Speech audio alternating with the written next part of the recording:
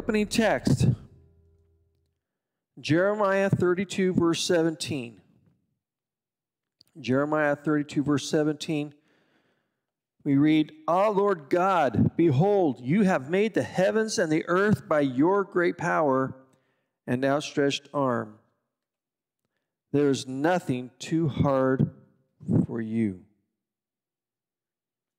Let me read that again.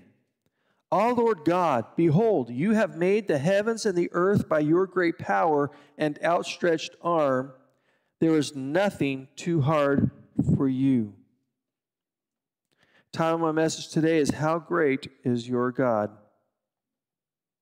How great is your God? We are without a doubt, not just here in America, but throughout the world, entering into some very dark times. We're on the brink of World War III, which would probably include nuclear weapons on some level. We see a catastrophic global collapse of the world's economies, including America's, that could happen within the next several weeks.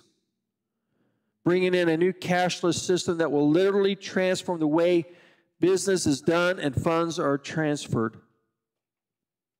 We see a major push for global government with world leaders calling for one nameless man to lead it. These are just a few of the signs we are seeing today that point to the very near start of the seven year tribulation period the scriptures tell us about. As followers of Christ, however, we have a blessed hope we can both hang on to and look forward to. An event we at Blessed Hope Fellowship believe will take place prior to the start of the tribulation period.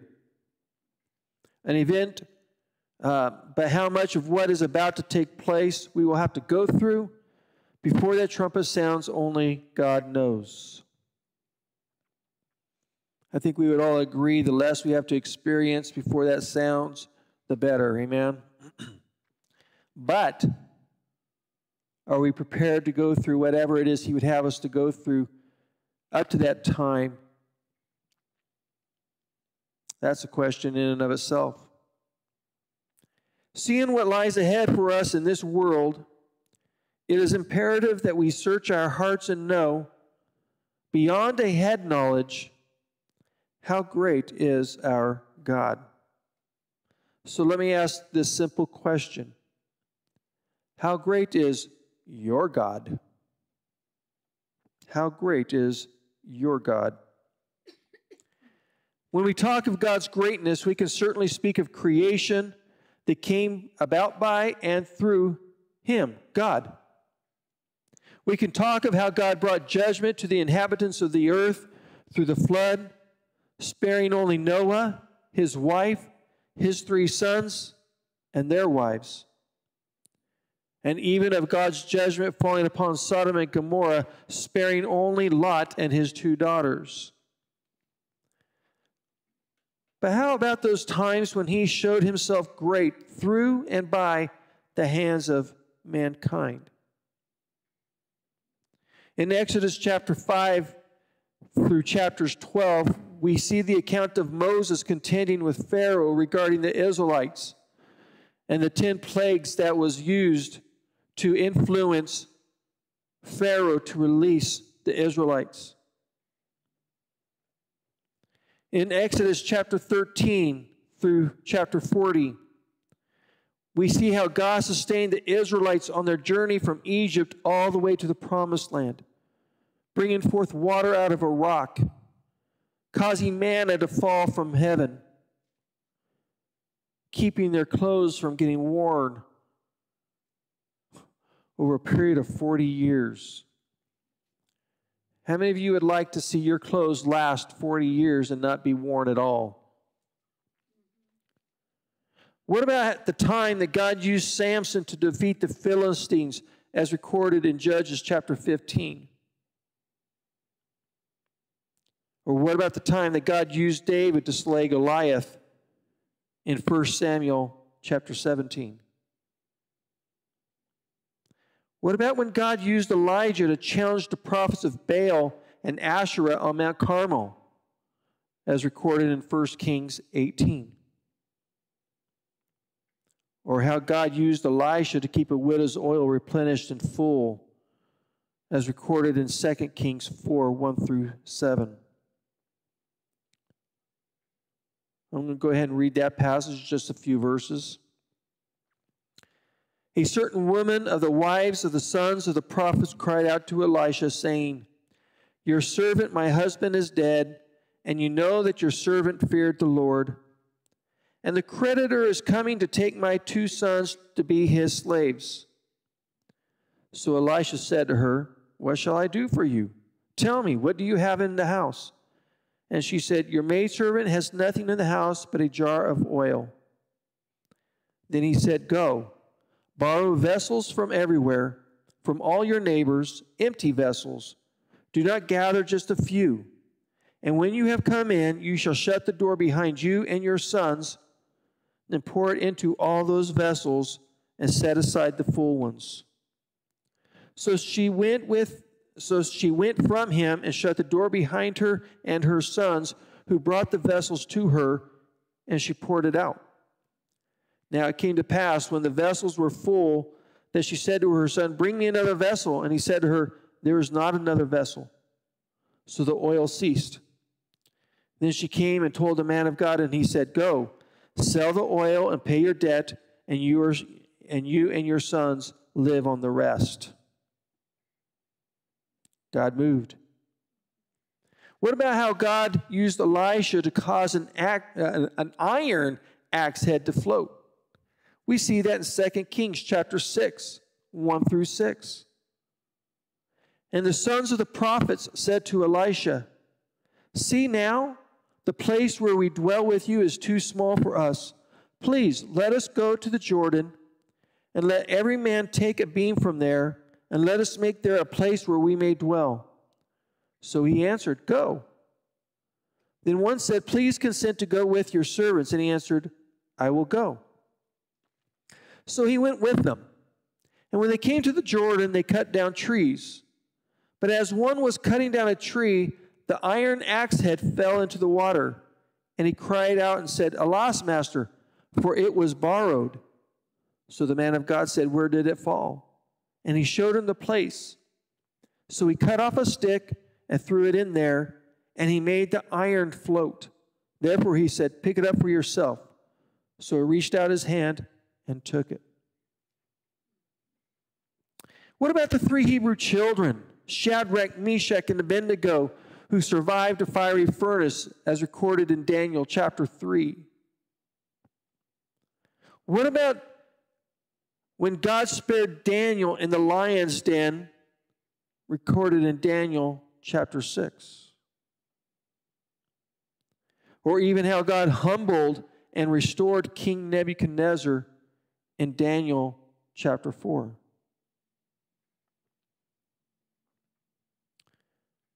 What about the time when Jesus turned water into wine? John chapter 2, verse 1 through 11 we read, On the third day there was a wedding in Cana of Galilee, and the mother of Jesus was there. Now both Jesus and his disciples were invited to the wedding. And when they ran out of wine, the mother of Jesus said to him, They have no wine. Jesus said to her, Woman, what does your concern have to do with me? My hour has not yet come. His mother said to the servants, Whatever he says to you, do it. Now there were set there six water pots of stone, according to the manner of purification of the Jews, containing twenty or thirty gallons apiece. Jesus said to them, Fill the water pots with water. And they filled them up to the brim. And he said to them, Draw some out now and take it to the master of the feast. And they took it. When the master of the feast had tasted the water that was made wine and did not know where it came from, but the servants who had drawn the water knew, the master of the feast called the bridegroom. And he said to him, Every man at the beginning sets out the good wine, and when the guests have well drunk, then the inferior. You have kept the good wine until now. This beginning of signs Jesus did in Cana of Galilee and manifested his glory, and his disciples believed in him.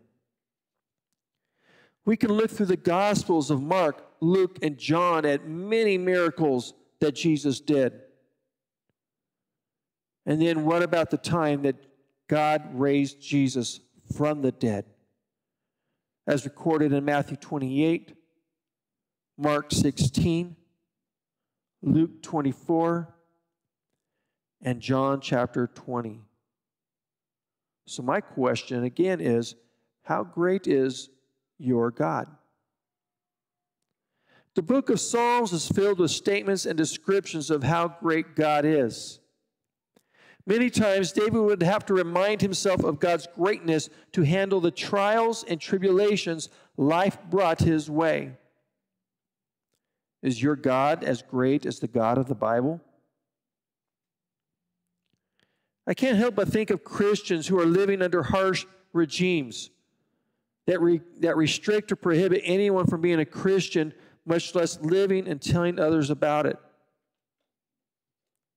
Something that we in America may actually have to experience should the Lord tarry at some point. But I picture these people meeting underground, eager to learn more of Jesus, with a yearning to see him come for them soon. I do not picture them sitting around a room griping and complaining about how rough and unjust life has been towards them, not to be in denial of what they are having to live under, but focused and praying for the heart of Jesus towards others and boldness to proclaim the name of Jesus to all God will lead them to, despite the persecution they will no doubt suffer. I'm reminded how recently I've read of Christians in the Ukraine experiencing the war there and how their heart was, they were meeting, and their heart was seeking for the Lord to return, but also seeking uh, worshiping God, praising God, and seeking ways that they could promote the gospel to others. That was their focus. And you know, I could see those people, and I can even see the people in other places around the world where they are heavily restricted. I could hear them find, uh, hear them interceding for the salvation and well being of those who are in positions of power and influence over them. How many of you know that is a biblical command for us? We don't pray for their demise. We don't pray for judgment to be brought upon them. We don't pray for them to experience hardship and death or whatever. We pray for them, for their souls, for salvation, and that God will use them according to his will. I'm reminded of the words of Jesus in Mark chapter 16, 15 through 18. Mark is writing and he says, And he said to them, Jesus said to them, Go into all the world and preach the gospel to every creature. He who believes and is baptized will be saved, but he who does not believe will be condemned. Verse 17 And these signs will follow those who believe. In my name they will cast out demons. They will speak with new tongues. They will take up serpents. And if they drink anything deadly, it will by no means hurt them. They will lay hands on the sick and they will recover.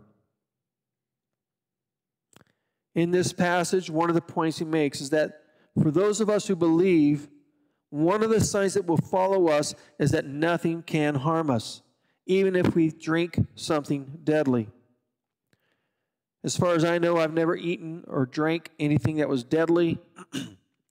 but as I've mentioned before, when a group of us were witnessing in a park in the town I grew up in, that we were given by some of the, the bystanders that were mocking us a piece of homemade cookie that we know was drugged we ask the Lord to protect us, standing on His word as recorded here in Mark 16. And some of us ate of that cookie while we were there witnessing. and to see how in about five minutes' time, the people that were mocking us and ridiculing us and being uh,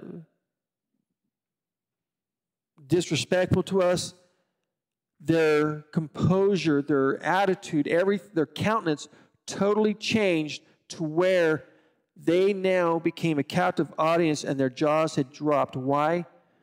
Because whatever was in that cookie had zero effect on us, and they knew something was up. And we were able, the doors were open, and we were able to witness to those people in a very powerful and profound way. One of which, uh, one girl I remember, she was in tears, so impacted by what was being shared with her that she actually went running full steam ahead away from us because she couldn't bear to hear anything more. Again, how great is your God? Today, the church here in America and perhaps in other parts of the world are becoming more and more divided and broken up over several different issues facing them. We have Christians pushing for various socialist styled changes in culture and government, and those who are pushing and fighting for the conflicting patriotic or American way of life and living. We have had Christians pushing for specific mandated medical treatments and others who are fighting against them. We have had Christians fighting for masks and those who are pushing back against them. Christians are getting more and more divided and splintered, and that not, ought not to be so. Christians of all people are to be in unity with one another. Yet it seems like we are perhaps the most divided and splintered of people groups today. My focus today is not about unity, though that is definitely a subject that needs to be addressed, but instead to ask the question how great is your God? There are two possible reasons why I believe there is division among Christians. There may be others, but there's two that come to mind. One is that Christians have taken their eyes off of Jesus and how and how great God is. And they have made this world and its systems more their home and love it too much. Both, I believe, is a result of deception, either getting genuinely deceived or allowing themselves to believe in something that uh, in error that tickles their ears and coincides with their ideas of how things should be despite what the word despite what the word of God tells us. It seems like more and more Christians view this world, more specifically this, this country, as their home more than heaven. And their thoughts, their speech, their attitudes, their behaviors, and their actions make that argument far stronger than their denials of such. You could talk to a number of Christians, and they will say that their home is in heaven. But when you listen to them speak, when you see their attitudes, their behaviors, the way they act, their motivations, their priorities, they say something totally different. Again, how great is your God? The God of the Bible, the one I serve, is greater than the COVID virus. He is greater than even the vaccines. And He is greater than any one or more individuals, no matter the positions of power and influence they may have, just to name a few examples. Instead of griping, complaining, or even debating the various things the government or this world is pushing upon us, we should be talking about the greatness of our God and those things that He has in store for us if we will just trust Him and endure for His sake. Instead of talking about the many pressures and trials we are facing, we should be sharing testimonies of how great God is and what He has been doing in both our lives and in the lives of others. If we say our God is as great as He is, and that He is greater than all those things that are being thrust upon us, then our speech should reflect that and project our confidence in Him to those who are watching and listening to us. Again, how great is your God? Is your God great? Or is the problems of this world greater than your God? Is your God great? Or is the government of our country or of others greater than our God? Is God is your God great? Or is the economy, the culture, the society we live in, and the people who influence and media and what forth greater than your God? As we prepare for communion, I'm reminded of the three Hebrew children in Daniel chapter 3 the ones that refused to disobey God and bow down to the golden image King Nebuchadnezzar had set up. When questioned and warned by King Nebuchadnezzar about not bowing down to the gold statue he had erected, their answer in verses 16 through 18 should serve as an example for how we ought to answer those who are pushing us to disobey God and the specific commands he has given us. Let me read Daniel chapter 3, verse 16 through 18. Shadrach, Meshach, and Abednego answered and said to the king, O Nebuchadnezzar, we have no need to answer you in this matter. If that is the case, our God, whom we serve, is able to deliver us from the burning fiery furnace, and he will deliver us from your hand, O king. But if not, let it be known to you, O king, that we do not serve your gods, nor will we worship the gold image which you have set up. Would that be your answer? Is that your answer now? And does your life, your speech, and your attitudes reflect that?